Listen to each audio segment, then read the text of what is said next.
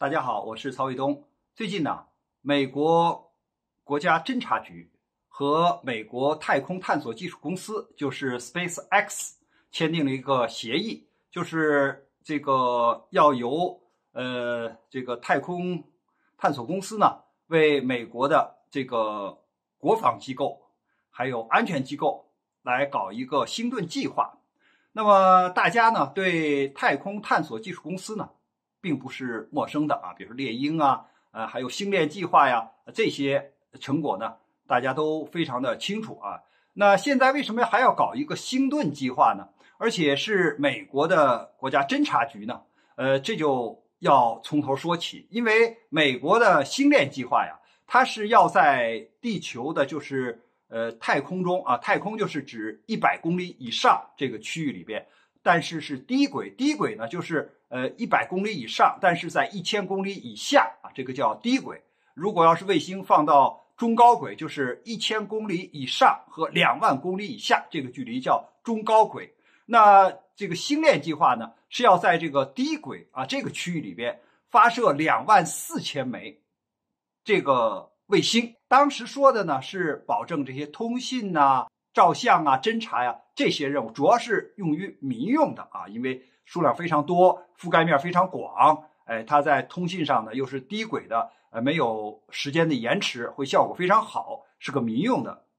大家虽然就是当时有一些想法，就是说本来这个轨道是有限的，你现在一下两万多颗星把这个轨道全占了，别人将来就没法在这个区域里边啊，就是在发射卫星了啊，因为你全都占了嘛。呃，就像这个高速路上。就四条路，哎，现在你把这条路四条路全占了，别人就车辆没法开了。但是好赖是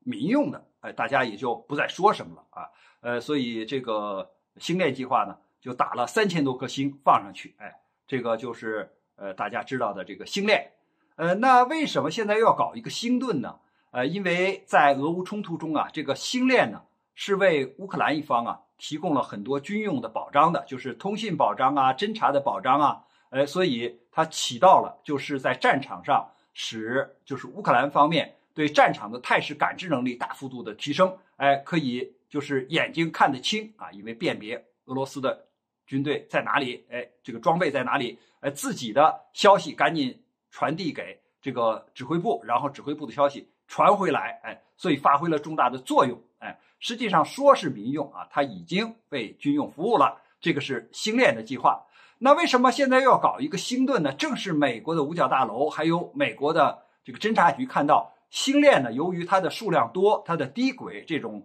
呃特性吧，可以为军事用途发挥重要的作用。所以呢，这个五角大楼还有美国的侦察局就委托这个就是 Space X 这个公司呢，为它发射。一个新的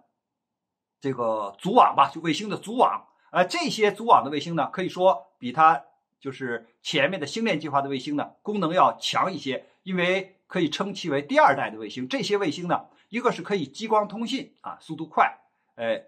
减少这个时间的延迟；还有一个呢，就是美国发现，在战场上使用的时候呢，美国的军用卫星虽然很多，但是它的需求量也很大，还是呢，就是有延迟，呃。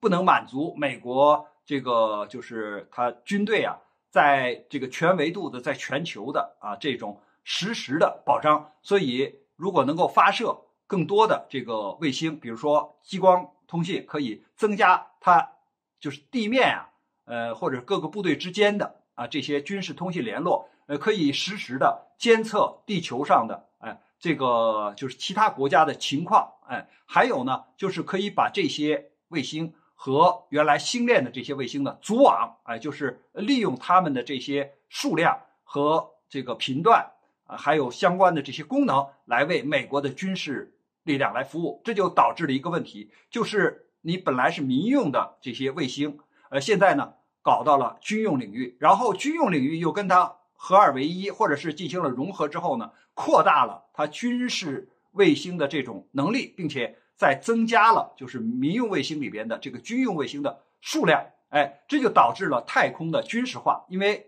这个太空军事化是我们都反对的，因为太空，呃，是人类的共同财富。我们现在把这里边，哎，就是军事化，而且呢，搞成某些国家可以享用，哎，其他国家不能享用的这么一个空间，当然就引发了在太空的这种军备的竞赛。你比如说，俄罗斯就说，呃，如果你把这个星链，你把这个星盾用于俄乌冲突的战场上，那么这个星链和星盾就成了俄罗斯合法打击的目标，啊，就是你的卫星就成为打击目标。那么一旦俄罗斯把这些星链或者星盾的卫星打下来，那就造成了更多的太空垃圾，因为打坏了没人去收拾去，这就造成了就是空间啊将会被破坏，就是咱们讲太空这个区域里边，你其他的再发射卫星的话，你就可能遇到垃圾，遇到碰撞，哎，这就破坏了原来的这种环境，而且呢大家都没法使用。但是这个原因并不是俄罗斯造成的，而是说你美国的啊星链公司造成的。你说是民用，但是你服务于军用，哎，本来你这个。呃，美国的军用的卫星，呃，已经在太空中数量最多啊，占的轨道最多，使用效果，哎，也是最大化的。包括它还搞了 X 三 GB 这样的往返于太空和地球之间的这个运载工具，哎，那已经是就是超越其他的国家了。那你现在还在这里边，哎，搞就是极端的啊，就是为自己一方来服务的这么一个星链，或者是。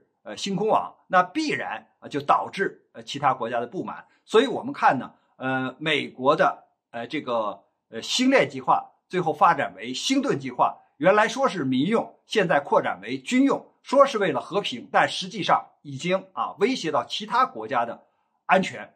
所以我们说呢，这个星盾计划，哎，它实际上已经点燃了就是太空竞争或者是太空军备竞赛的啊这个火苗。关于这个话题呢，我们今天先聊到这儿。感谢大家观看本节目，我们下期节目再见。